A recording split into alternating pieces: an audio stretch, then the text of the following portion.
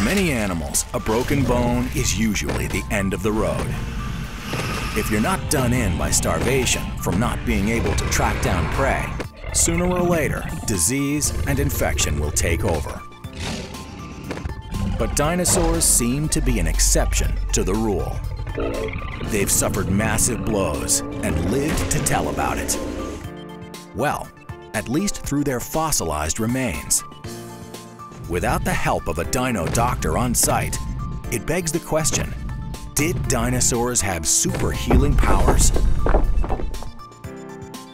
Meet Sue, the largest T-Rex ever unearthed. Nearly 65 million years later, her body still bears the marks of serious battle wounds. Injured vertebrae, cracked ribs, a bashed arm, and a tendon ripped from the bone. This dinosaur definitely picked a lot of fights. But what's remarkable is that she survived them all and lived well into her prime.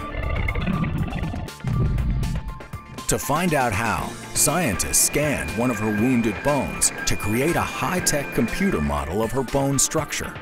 That looks brutal. Really does. The results confirmed that the trauma to the bone was absolutely massive.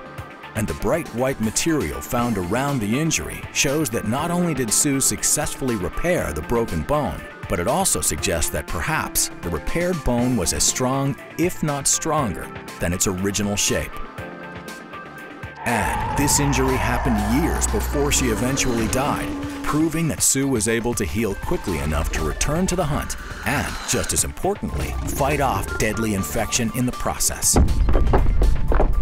Alligators, distant cousins to the dinosaur, have an amazing ability to ward off disease, and the secret lies in a super serum within their blood.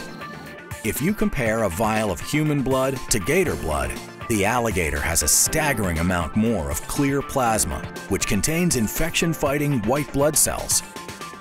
When this plasma is mixed with a nasty batch of MRSA, the deadly bacteria resistant to most antibiotics, the alligator white blood cells killed close to 98% of the bacteria sample overnight, while the human infection fighters barely scratched the surface. Conceivably, in the not-so-distant future, we might be accepting alligator blood donations. And since dinosaurs have a familial link to alligators, chances are they too had super healing antibody strength. Coupled with their ability to rapidly heal bones, the T-Rex was an indestructible killing machine.